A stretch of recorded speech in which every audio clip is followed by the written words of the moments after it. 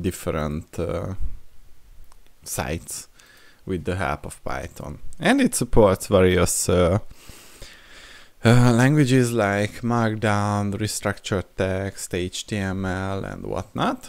So let's create a folder pelican and uh, enter this folder, create a virtual environment. And after the virtual environment is ready, we are going to install the necessary packages. And this is going to be part of a GitHub repository and it will be linked in the video description. So you can easily reproduce uh, the examples that you see. So yeah, and uh, after the virtual environment is ready, we can activate it and pip install Pelican. So once the dependencies are installed, first what we would like to do is to create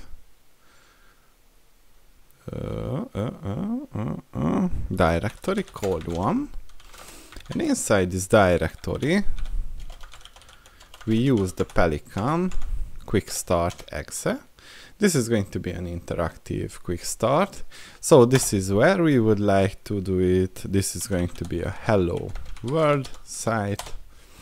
This is me who is going to be the editor Daniel Sabo.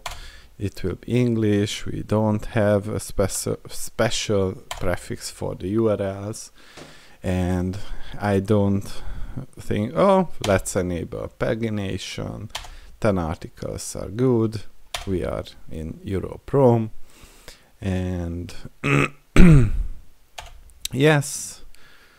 No no no no no no. So basically Pelican allows you to upload our site via various uh, processes like FTP, SSH, Dropbox and whatnot. And if we open up the code editor here. You will see the following structure. So we have a make file and we have a pelican conf.py this is basic configuration for the project this is the publish.conf this is where you uh, would use uh, configure use for configuration if you use the make publish command. And here you can define tasks.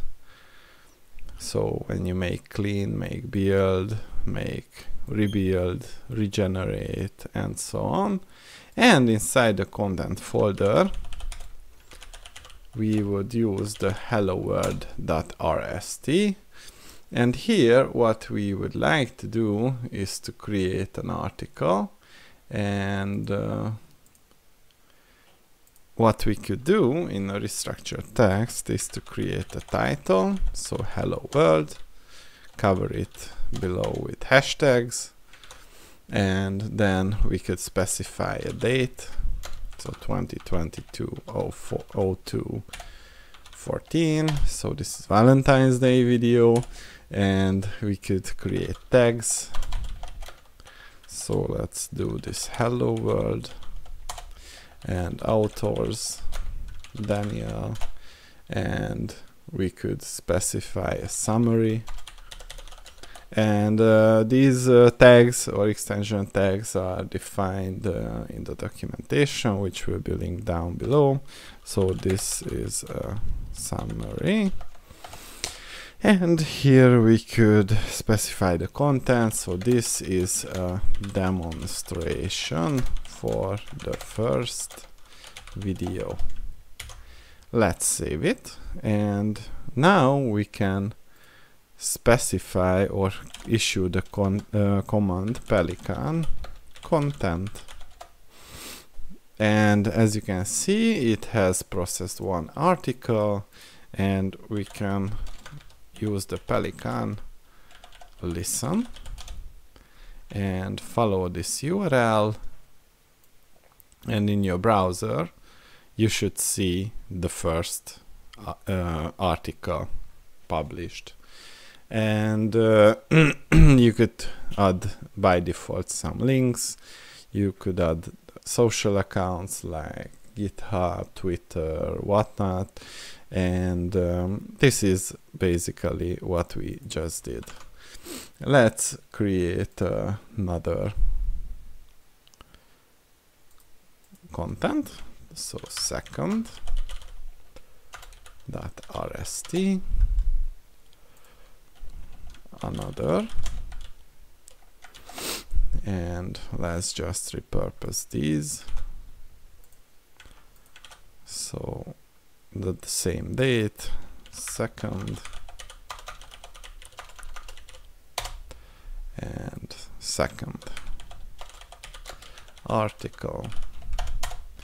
This is another blog post.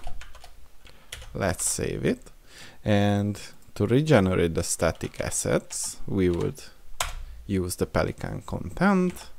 And if we go back to our browser after the pelican listen is issued and refresh the page you see that we have the other published and other articles are the hello world which was previously published. So that was what i wanted to show you in this introduction video. See you in the next one